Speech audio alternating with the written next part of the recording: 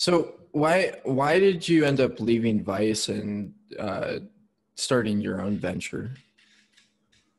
Um, I think my time at Vice just ran it ran its course. You know, like I had the best time of my life at Vice. Um, you know, I started there when I was 24, uh, just turned 24, and like I left when I was like 28 or some shit.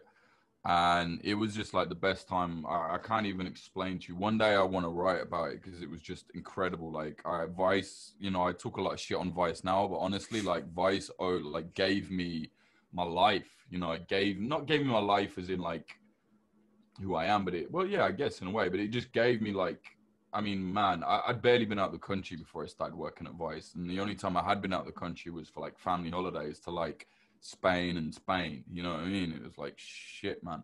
So I went to, you know, I went to all these places, traveled all over the world, just met people I would have never met. It was just so good and also the environment in the office was just incredible you know like i loved it there's a lot of people now i see chatting shit about the environment the office but at the time they fucking loved it too um, you know it's a very stressful world you know it's dog eat dog there it was like brutal but if you could roll with it you, you know it was amazing very high energy or whatever you would say um, but then you know our, our like little news team at the uk we made something like 80% of the the vice news stuff you know I was always news. I was never interested in like all the you know dot com we used to call it. You know, like this dildo works here, but like cool, whatever. I don't care.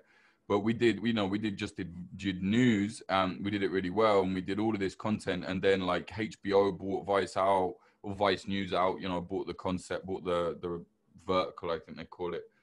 And then the, this amazing boss we had, Kevin Sutcliffe, he was moved out of his position and then a guy from the BBC who didn't know his ass from his elbow, never been to conflict, never really been in the field. He came in, he was very rude. One of the first things he said, I'll never forget, he said, um, uh, any work you did before I arrived is not relevant. It's not important, you know. And this was like, what, two years after I'd been out of prison, you know, like I'd been in fucking jail filming for Vice. I was like, fuck you, man. That really was raw for me.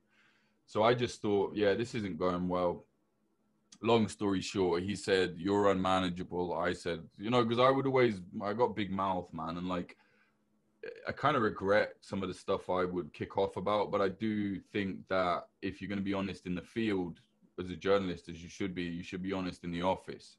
And everyone was moaning, and then they would say nothing to this guy. They would just like suck his dick, like not literally, but you know what I mean. They would just be like kissing his ass and like bitching about him behind his back. And I was like, fuck this guy. I'm just going to tell him. And then I had a row with a guy in the US, the head in the US news. And I think everyone just got to the point where like, like Jake's just an asshole. Like he won't shut up. Like he's a pain, which is, I understand. Like you can't have someone like that on board. But I was like, fuck it. I'm ready to go. Um, and they kind of said, look, you know, we're going to give you some money to leave if you want to leave. And I was like, I don't want to be here anymore. So yeah, let's go. So I left, but I, I kind of left on good terms, actually. You know, I kind of said to them, I, I didn't really apologize, but I was like, look, man, you have to see it from my point of view. This is how I've been. This is what I've been doing.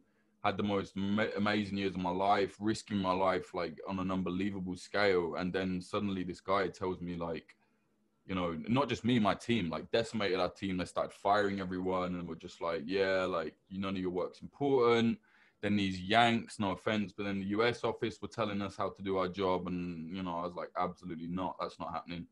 So, yeah, it just kind of, it kind of fell apart like that for me. But we left on good terms. I did a lot of freelance stuff for them still um, now and then. But it got to a point where they started doing some shady stuff with their news. I felt like they were being dishonest and stupid move by me actually, but I couldn't help myself. I was on Twitter and that being like, "This is bullshit. Why have they done this?"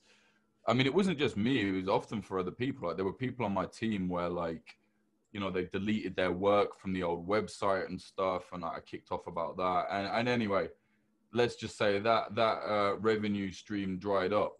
you know, they didn't want to send me anywhere anymore for freelancing because I was a gobshite. Um, and then yeah, man, and then that's what happened. Um,